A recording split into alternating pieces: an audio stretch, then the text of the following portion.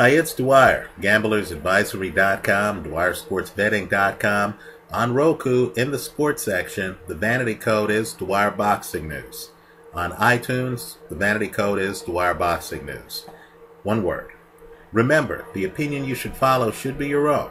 Just consider this video to be a second opinion from a complete stranger online. Now, there's a line out there. We're looking for value.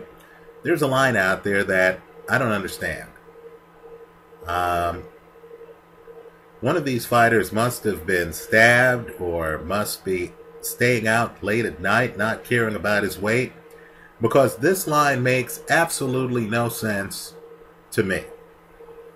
You know, Anthony Mundine right now, according to Las Vegas casinos, is a plus 300 underdog. Plus 300 underdog against Sergey Rabchenko. Now, let me just be blunt here. The lines matter. The odds matter.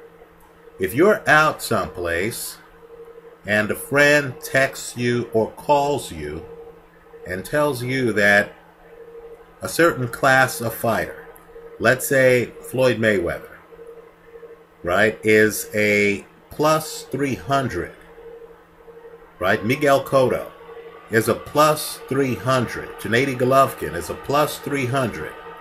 And that fighter is not fighting outside his weight class, someone like Vladimir Klitschko.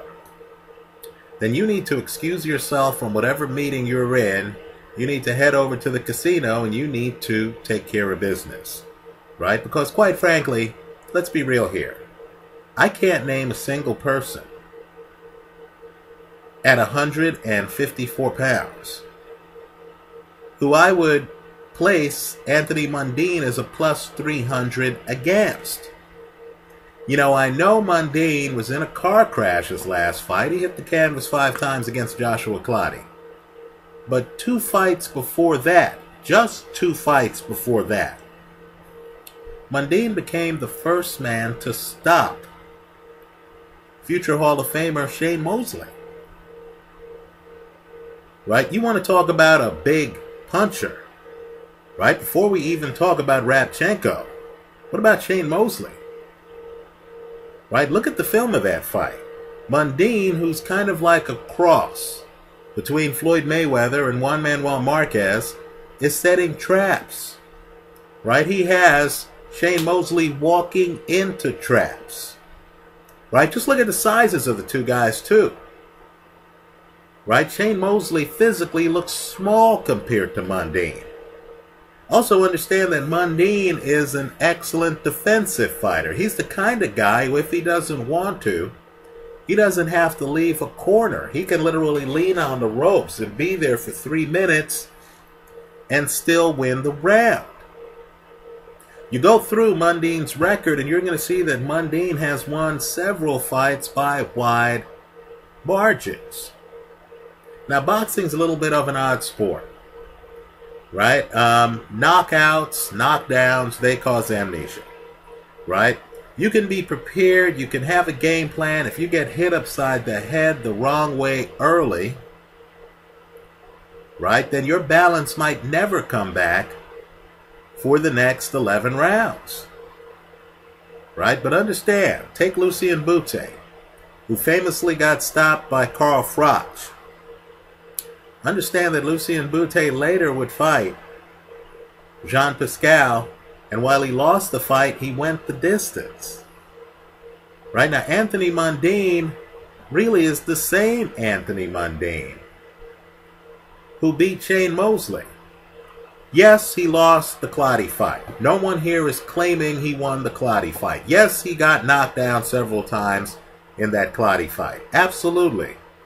But one bad day shouldn't erase the guy's body of work, the guy's defensive skills.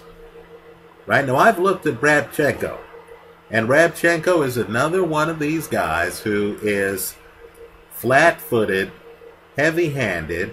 He has a greater than 70% KO ratio, right? He is a major body puncher. He's an explosive puncher right? Doesn't have a great jab. Doesn't have great defense. Look close at his record. Bradley Price went the distance with him twice. I want you to look at the first Bradley Price fight, around the eighth round or so. Rabchenko is out of gas. He's breathing through his mouth. He's breathing heavily. His defense is falling apart. Right? Understand, this guy comes in, he's throwing nothing but heavy punches. He's not subtle. Right? His fastball, his big punch, has worked so well that he hasn't had to learn other pitches. He's a one trick pony. Right? It's front foot and it's heavy punches. Understand, a guy like this is tailor made for Mundine because Mundine knows where he's going to be. He's going to be on his front foot. He's going to be right in front of Mundine. One of two things is going to happen.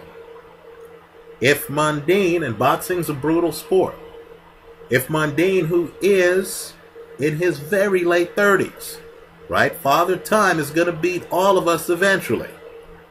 As Jim Morrison of the Doors famously said years ago, no one here gets out alive. If Mundine's age has suddenly caught up with him, if the sport of boxing has made him an old man overnight, then he'll get blown out early by Rabchenko.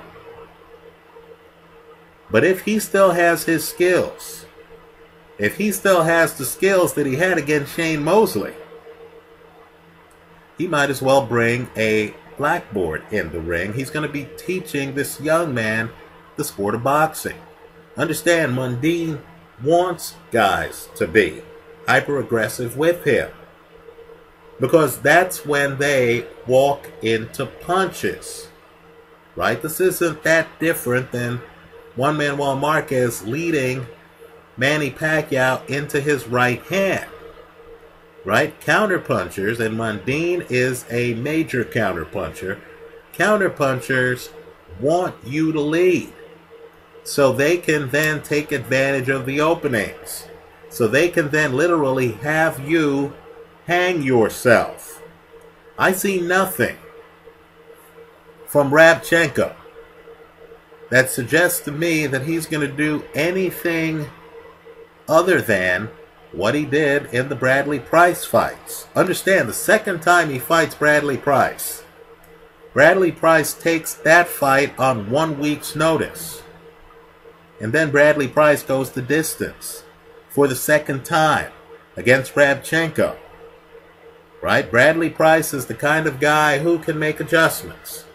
Right? He figured out Rabchenko's game. Let's just say Rabchenko isn't a Rubik's Cube. It's not that much of a mystery. You know, he's a young guy in front of you who thinks he's special, thinks he has special punching power, and thinks he could walk through you. Anthony Mundine has put together what I believe is a Hall of Fame career fighting exactly guys like this. Now, sometimes one of these guys gets lucky with a punch. Think the first Garth Wood fight. Right? Sometimes Mundine's defense isn't completely up to par. Okay, fair enough. But what I have learned, you can compare the first Garth Wood fight with the second Garth Wood fight. What I have learned is that sometimes a fighter needs a wake-up call. Sometimes a fighter is sleepwalking through bouts and needs a cold slap in the face. Joshua Clottey gave Mundine that cold slap. Understand, as bad as that beating was, Mundine went the distance. Right? I'm expecting, just like I'm expecting in the Hopkins fight against Kovalev, I'm expecting by, let's say, the sixth, seventh, eighth rounds, the younger fighter here to run out of gas. The older guy the savvier guy, the better defensive fighter, is also the guy who's going to have more stamina. If you're going to give me 3 to 1 odds, I'll gladly take Anthony Mundine. If I had one bet to make, it would be on Mundine to win this fight. If I'm allowed to hedge the play, I would hedge that with Rabchenko by KO. I just don't see this young guy with these skills being able to outbox Mundine over 12 rounds. And be careful on the length of the fight. Understand, this is a WBC Silver Light Middleweight title fight. So it's 12 rounds. Right? Also understand, too, Mundine is Australian. This fight is in Australia. Rabchenko is going to be traveling to Mundine's backyard for the fight. Right? How a young guy who hasn't had really big fights against elite opposition has been installed as a big favorite over a great slick defensive fighter like Mundine is a mystery to me. I like the 3 to 1 underdog here, Mundine to win, hedged with Rabchenko by KO. Let me hear from you. Leave your comments for me here online. Visit us at gamblersadvisory.com and DwyerSportsBetting.com. Also, take a look at our pay site on YouTube. We have a free site on YouTube, but our pay site on YouTube is Dwyer Sports Betting. Thanks for stopping by.